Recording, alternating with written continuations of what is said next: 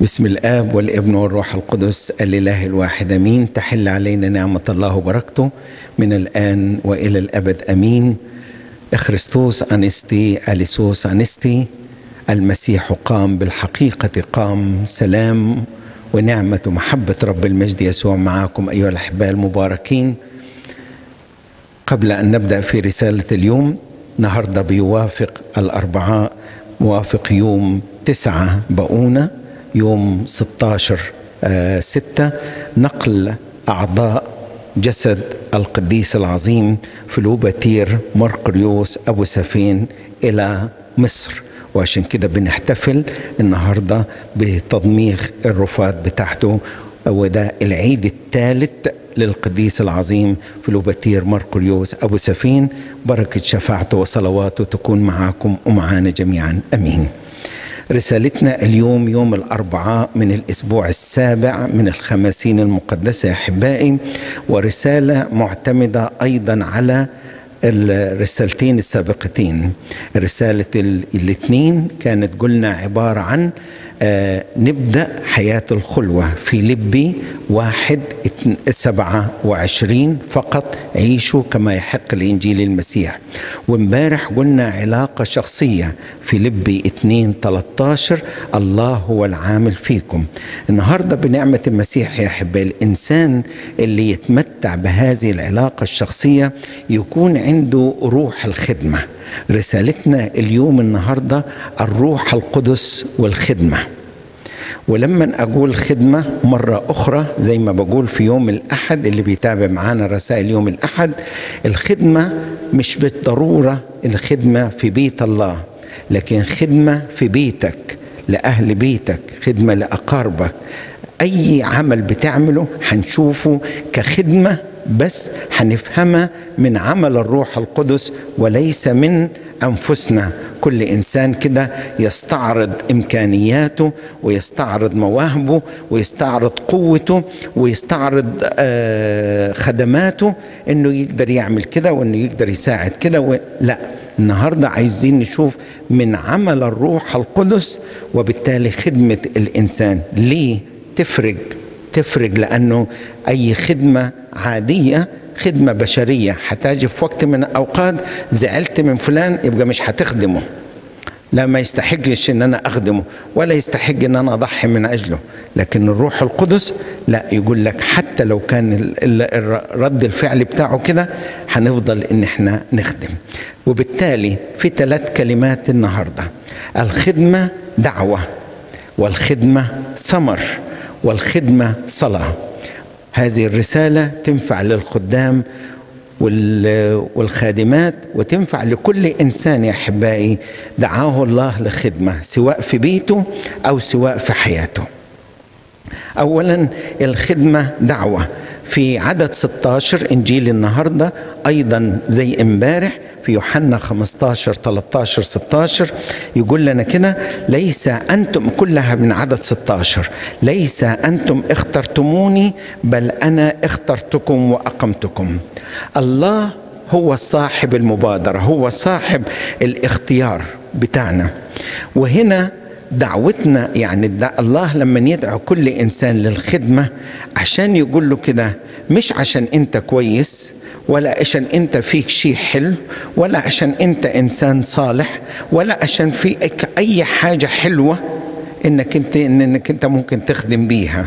أمال عشان إيه؟ عشان دي نعمته المجانية عشان دي دعوته. اختيار الله لينا يا أحبائي في الخدمة في حد ذاته يورينا إن إحنا في ذواتنا ما نقدرش ما نقدرش نفتخر بأي حاجة في الخدمة. قال عنا معلمنا بولس الرسول أنا ما أنا بل نعمة الله التي معي وهي ليست باطلة. وبالتالي طب تفيدني بإيه يا أبونا لو كانت الخدمة دعوة؟ اولا تذكرني إن أنا مش هقدر أعمل حاجة من غير المسيح. ثانيا ما عنديش فضل في أي حاجة في الخدمة حتى لو نجاح بس ده عمل الله ونعمة الله. ثالث حاجة ودي أحلى حاجة في الخدمة في الدعوة إنه الله نفسه هو اللي بيكون مسؤول عني في الخدمة وهو اللي بيكون مسؤول عن الخدمة نفسها. الروح القدس هو اللي هيقوم بالعمل هو اللي هيقوم بالخدمة يا أحبائي. الروح القدس يقول كده كتاب ال ال الآباء الخدمة هي مسؤولية مباشرة للروح القدس. عشان كده السيد المسيح قال قال للتلاميذ إيه؟ لا تبرحوا أورشليم إلا أن تلبسوا قوة من الأعالي. الروح القدس هو اللي يعلمكم الروح القدس هو اللي يرشدكم في الحق. الروح القدس هو اللي يبكتكم يبكت الخادم الخادم ويبكت المخدوم على كل بر وعلى كل خطية وعلى كل دينونة. الروح القدس هو عمله. في الخدمة هو عمله. كما أرسلني الآب هكذا أنا أرسلكم. عشان كده يا أحبائي أول حاجة ضعها في اعتبارنا ما تهبش الخدمة بس افهم الخدمة صح. اولا الخدمة دعوة. ثانيا الخدمة ثمر. تكلمنا عن الثمر أول امبارح. إثبتوا فيا عشان حتى يأتي يأتي تأتوا بثمر كثير. الخدمة ثمر يقول كده في تكملة عدد 16 أقمتكم لتسهبوا وتأتوا بثمر ويدوم ثمركم يعني إيه؟ فيما هن الخدمة هي دعوة يا أحبائي ولكن هي دعوة لإيه؟ للعمل مش للكسل. ياما في ناس كثيرة وسامحوني في هذا التعبير. الهوية بتاعتي أو الكرت بتاعي أنا خادم. أجي مدارس الأحد ما أجيش مش مشكلة. أخدم فلان ولا ما أخدمش مش مشكلة. المهم إن أنا عندي إيه؟ عند البطاقة بتاعتي بتقول لي أنا خادم. وأي واحد في الكنيسة يشاور علي يقول ده خادم. وأي واحد برا يشاور علي يقول ده خادم. لا. خادم معناه إن أنا أكون مجاهد.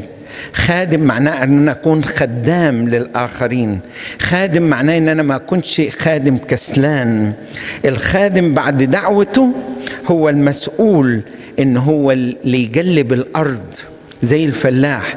هو المسؤول إن هو يزرع. هو المسؤول إن هو يسقي. سيب الثمر بعد كده هو اللي ينمي. زي ما قال معلمنا بولس الرسول دي مسؤولية ربنا. ليس الزارع شيء ولا الساقي شيء ولكن الله اللي إيه؟ ليس الغارس شيء ولا الساقي بل الله الذي ينمي. لكن دور إن إيه؟ ما هو الفلاح عمره ما حيجيب ثمر ولا عمره ما حيكون عنده محصول لو ما قلبش الأرض وتعب. وسهر وصحة في الفجر.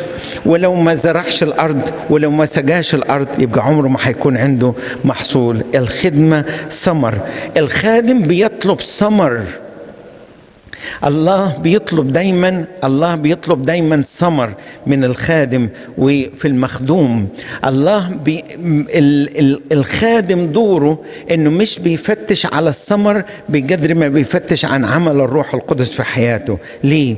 لأن الثمر دي بس الهدف بتاعه إنه لازم يثمر. يعني أتمنى الناس تفهمني صح. مش إنه ما يطلبش ثمر يعني مش ما يسعاش ليه هو هيخدم جاب ثمر مثلا جاب ثمر مش مشكلة بس هو بيعمل اللي عليه ولا لا؟ لا أنا بشتغل وبعمل عشان يديني يا رب ثمر عشان عايز أفرح قلبك بثمر في المخدومين أو في الخدمة. يبقى إذا هو ما بيطلبش ثمر عشان لو ما جاش ثمر بعد سنة لا ما فيش فايدة ما فيش فايدة في المخدومين دول. عمرهم ما هيفلحوا عمرهم ما هينجحوا عمرهم ما هيرجعوا للمسيح. لا لا لا سيبك منهم. ويتلاقي إنه الخادم بيعمل إيه؟ خلاص فقد الرغبة أصلا في الخدمة. لا الثمر دي ممكن ما يجيش في الوقت اللي أنت بتخدم بيه لكن حياجي ممكن يجي في وقت آخر يحصد ثمر يلاقيه خدام آخرون. سيد المسيح قال كده وناس تعبوا وأنتم دخلتم على إيه؟ على تعبهم. ممكن ما تلاقيش الثمر السنة دي لكن ثق أن الله حيفرحك بعمل الخدمة بتاعتك طالما إن هي كانت بأمانة وبصدق وباجتهاد أمام الله. وبالتالي تدوم الخدمة الباذلة بإخلاص وبأمانة. آخر حاجة أحبائي في الخدمة هي صلاة. قال لهم كده السيد المسيح لكي يعطيكم الآب كل ما طلبتم باسمي. دي برضو في عدد 16 يبقى الآية كلها على بعض يا أحبائي. يقول كده ليس أنتم اخترتموني بل أنا اخترتكم وأقمتكم. آدي الدعوة. لتسهبوا وتأتوا بثمار ويدوم ثمركم. آدي الثمر. ثالث حاجة لكي يعطيكم أبي كل ما طلبتم باسمي. درس بيتعلمه الخادم يا أحبائي في إعداد الخدام إن هو يكون عنده إيه؟ إنه يكون عنده الركب المنحنية إنه يكون عنده الأيادي المرفوعة الأيادي الغير مسترخية إنه يطلب من الآب باسم المسيح عشان يديله نعمة في الخدمة بتاعته. عشان يضمن الاستجابة للطلبات بتاعته وبالتالي تصبح كل صلاة وكل طلبة محمولة ومل وبلمسة الروح القدس وبالتالي تأتي بثمر في حياة إنسان بس لازم الإنسان إيه؟ إنه هو يطلب يقول كده الآباء الصلاة هي سلاح الخادم وقوته وهي مسؤولية الروح القدس الذي يرفعها للآب مشفوعة بالدم وبالتالي هو اللي يغير يبدل الطلبة بتاعتنا لو طلبة غير صالحة أو غير غير مناسبة. الروح القدس يشفع فينا بأنات لا ينطق بها. وبالتالي الروح القدس هو اللي يعمل إيه؟ قلنا عليه وقبل كده هو يعلمنا وهو يدينا تأكيد للاستجابة. هنا الروح القدس هو من خلال الصلاة بتاعتنا هو الشفيع لينا هو اللي يحمل لينا هذه الطلبات. قصة قصيرة أتذكرها عن أحد الخدام في يوم من الأيام قصة دي في مصر. دعي أحد الخدام إنه هو يخدم في كنيسة في القرية. ولما وصل أدوا له أوضة قال له استريح فيها شوية وبعدين انزل للخدمة. فقام جاء مواعيد الخدمة. وجاء الأب الكاهن فلان ما جاش الخادم ما جاش. بعت واحد من الشمامسة أو الخدام قال له امشي كلم الخادم قل له إن يلا عشان إحنا ابتدينا الاجتماع. مشى الخادم يخبط ما فيش حد بيرد عليه. رجع لأبونا قال له ما فيش حد بيرد يا أبونا. قال له لا مت أنا متأكد إنه في الأوضة بتاعته. امشي خبط. مشى خبط. هو بيخبط. سمع واحد جوا بيقول له كده لو ما جيتش معايا مش هنزل الخدمة. فرجع لأبونا. قال له يا أبونا ده معاه واحد وقال له كده والظاهر إنه هو رافض إنه يطلع معاه. قال له لو ما جيتش معايا مش هنزل الخدمة.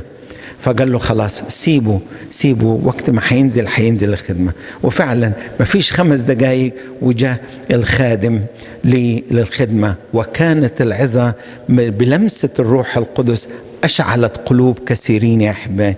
لما رجع جاء الخادم اللي مشى خبط عليه. قال له هو مين اللي كان معاك في في الأوضة؟ قال له ما كانش معي حد. قال له لا كان معاك حد. أنا سمعتك. بتكلم واحد بتقول له كده. لو ما نزلتش معايا للخدمة أنا مش هنزل قال له حاجة بيني وبين ربنا لو ما أقدرش إن أنا أنزل أي خدمة ما لم يكن المسيح معايا في خدمه فأنا طلبته. لو ما نزلتش معايا أنا مش هنزل الخدمة.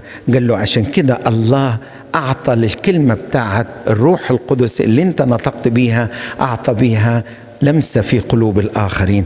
إلى أحبائي مسيحنا القدوس بروحه القدوس بيدعو النهاردة كل إنسان من خلال العلاقة الشخصية ومن خلال كلمة ربنا. بيقول لكل إنسان تعال اخدم اخدم في بيتك اخدم أهلك اخدم في كنيستي.